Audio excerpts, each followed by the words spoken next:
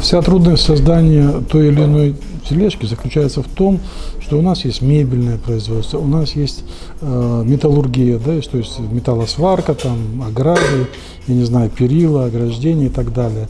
Но совмещенного, то есть одна мастерская, которая совмещает и металл, и дерево, практически нет. Ну, если только не считать, наверное, лофтовую мебель, где идет металл и дерево, да. Но они, как правило, телегами не занимаются. И в процессе создания приходится как э, варить, то есть э, владеть искусством сварки, так и э, владеть искусством работы с деревом, ну, различать породы дерева. Значит, э, с чем я столкнулся еще? Э, очень большую проблему в России составляет, оказывается, создание колес.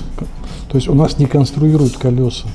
В России издревле, издревле Э, были, были кузни, да, делали колеса металлические, но деревянные колеса делали по старинке, э, их не обрабатывали. То есть внутренний диаметр колеса был секторальный. И никто не обращал внимания, потому что они выполняли свою функцию, никому до красоты дела не было. Когда в Европе эти же колеса делали круглыми как внутри, так и снаружи.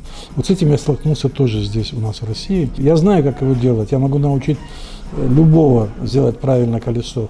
Но для этого надо очень много мелких элементов, чтобы составить одно целое. И сам процесс, значит, э, кто сталкивался, работая с деревом, это же э, неповторимый такой непередаваемый кайф, когда ты берешь масло, да, берешь э, дерево, немножко его отшлифуешь, покроешь морилочкой, покроешь маслом льняным, и увидишь те изменения, которые происходят. Сейчас существует очень много классного материала, красок, просто суперских, экологически чистых.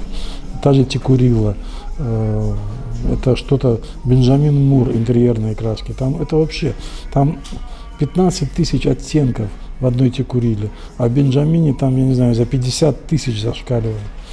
И вот все эти оттенки, то есть даже когда я делаю темп для телеги, я не беру его готовый красный, белый, красный, белый, а я сижу с таблицей этих оттенков и подбираю из этих оттенков полосочками то, что будет напечатано на полотне и будет потом тентом для определенной телеги. Сам процесс, это я не сплю ночами, они мне снятся ночью, эти телеги. Дома никто слушать уже не хочет. Я только открываю рот, а мне говорят, это опять про телеги. То есть как бы никому не, уже не интересно, а я, я все болею ими. И э, когда заказчик звонит мне и говорит, а, я хочу телегу, я закажу ее, все, мне нравится, так классно, все, я хочу вот такую, такую, такую, я ему говорю, вы переспите с этой идеей, чтобы она вам приснилась, эта телега. И если она вам приснится, значит, вы действительно ее хотите. И мы сделаем такую, какую вы хотите. То есть телега будет даже превзойдет ваши ожидания, что было не один раз. То есть всегда, когда человек заказывает телегу, э, просит сделать ее, э, там, не знаю, э, кремового цвета, с бирюзовым верхом, с коричневыми колесами, с промасленной столешницей. В итоге он получает телегу, и вот это вот то, что он видит в реале, это превосходит все его ожидания. У него просто зашкаливает. Он так он уже, да, может, я не знаю, он, может быть, и продавать этой телеги не будет. Он поставит и будет кайфовать. Просто то, что она у него есть. Вот это как дорогая машина, как Porsche, да, там, или Maserati в эксклюзиве. Э, то же самое эта телега. То, что ты уже обладаешь этой телегой, это тебя ставит на определенный уровень в обществе.